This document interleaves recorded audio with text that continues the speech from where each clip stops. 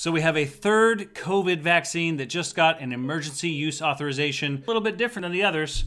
We're gonna get started right now.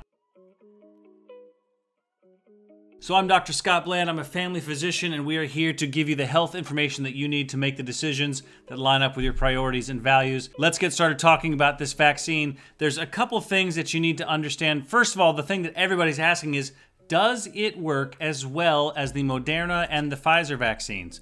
The answer to that is a resounding question mark. The question is, what do you mean when you ask, does it work as well?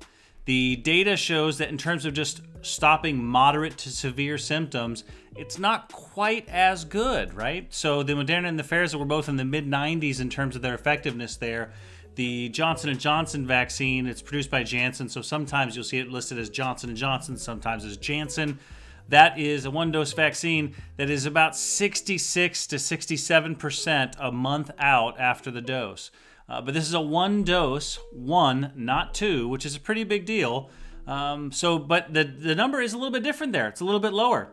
The issue is that number might not be the number that matters because when you look at the number of how many people died after getting the vaccine, the answer is still zero. And so having some moderate symptoms, even a couple severe symptoms, a little bit more likely than with the other vaccines, don't matter as much if you still live, which is a big, big part of what we're trying to do here, right? So we're trying to cut down on the number of people in the hospital, which this would do. And we're trying to cut down on the number of people who die, which this seems like it would do. So I think that that is an important caveat to give. The other thing that keeps getting mentioned when you look at the data here is that this trial is happening much later than the Moderna and the Pfizer trials. This trial specifically included people who were exposed to the South African variant, which is a different strain that wasn't around when the Moderna and Pfizer trials were going on. So you think about it, this one has was intentionally tested to try and cover those strains. They're using it in South Africa now, and it was 55% effective against that. Again, stopping people from dying, which is really the main thing that we're trying to cover here. So, does it work as well as the Pfizer and the Moderna vaccine? The answer is technically no, but does it still do what we want it to? The answer is technically yes. So that's a it's a complicated answer there, but hopefully that gives you some context. So, what is different about this from the Moderna and the Pfizer besides the effectiveness rate and how that works out?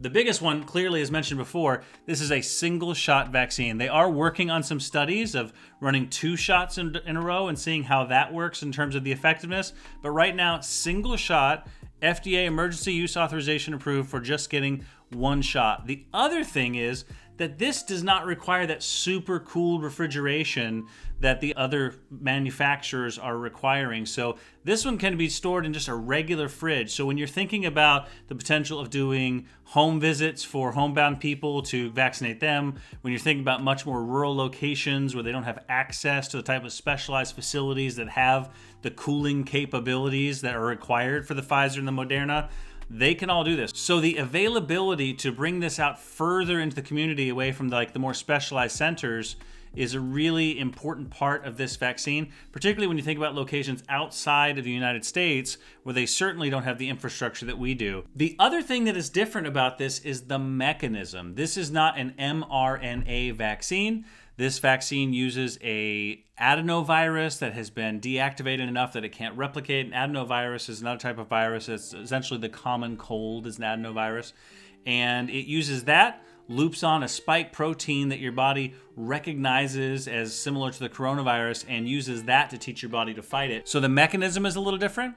It's only one dose and the cooler requirements are different, which from a infrastructure health system standpoint is very helpful. So now that we've covered why it's different and we've covered that the effectiveness is potentially a little bit different depending on how you look at it, the question then is, well, why are we using this one if it's so different and if it's potentially not as effective depending on the mechanism that you're looking at it? And there's a number of reasons for that. Number one is it's not like every American is currently looking at this and going, my choices are I can roll out today and get the Moderna vaccine. I can roll out today and get the Pfizer vaccine, or I can roll out and get the Johnson and Johnson vaccine. We have a lot of people who might benefit from getting this vaccine who are really just waiting in line. There are a lot of places where they haven't been able to get logistically the rollout working quite well yet, and there are people who have some significant risk factors who still haven't had the opportunity to get a hold of the vaccine yet. So this does give us another chance, more supply, more access to the vaccine because a number of people, if this were not approved for an emergency use authorization, are really left with a decision of I don't get the Moderna Pfizer option because it's not available to me. Um, or I get the Johnson and Johnson, and that's the options that a lot of folks have. So this supply should allow us to roll out the vaccine to more people. My understanding is that Johnson Johnson is talking like they already have three or four million doses already prepared, ready to roll. So this should help us distribute this vaccine to more people. Again, I've mentioned before that the cooling capabilities mean that this is an easier vaccine to distribute. You may have seen a couple news stories about there being some waste with the Moderna and the Pfizer when a facility couldn't keep the cooling requirements that they needed to keep. And so this will reduce that because it's a much more stable vaccine in terms of handling. So the logistics are a little bit better for that. The other thing that we need to think about when you look at the Johnson & Johnson vaccine is it was specifically tested on purpose against strains that are new and are considered potentially more dangerous and are different and were not around when the Moderna and the Pfizer vaccine were trialed. So this is one that is really kind of designed to face the current realities of the coronavirus. And I think that that's something that really should be considered when you look at how good this actually is. So the end game question here, which everyone is probably thinking is which vaccine should I get? And I can't give you medical advice over the internet, but I'm going to go ahead and just tell you what I've been telling my parents, which is the vaccine you should get is the first one that you can.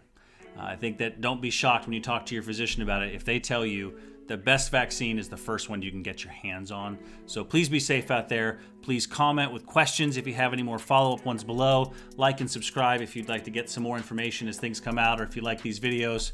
Be safe, y'all.